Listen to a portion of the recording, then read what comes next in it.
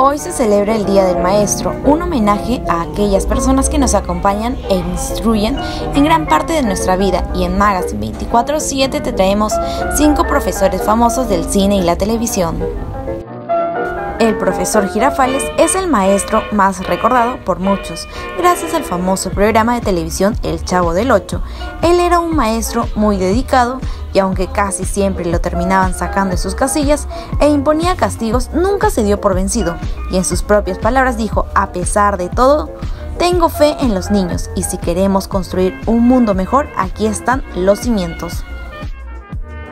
2. La maestra Ximena de la telenovela Carrusel de las Américas. Ella apreciaba mucho a sus alumnos, tenía un trato amable y una enorme paciencia por lo que era muy querida por todos los pequeños.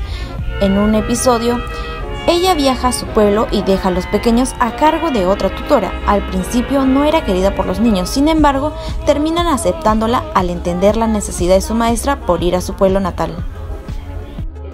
El profesor Snape de la serie de películas Harry Potter. ¿Quién no recuerda al frío, calculador y duro profesor de pociones y artes oscuras de Hogwarts?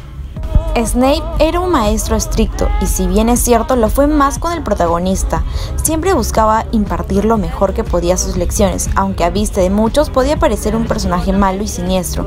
Siempre cuidó de sus alumnos y esto quedó demostrado en una escena de las Reliquias de la Muerte parte 2. 4.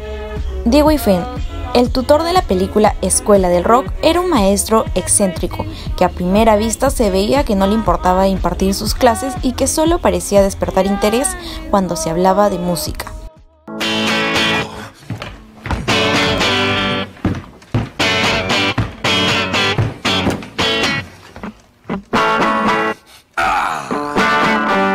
Sí.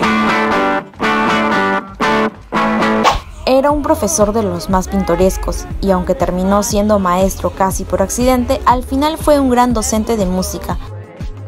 5. Si alguna vez soñaste tener un sensei que te enseñara las artes milenarias del karate, el señor Miyagi es la elección perfecta para ti.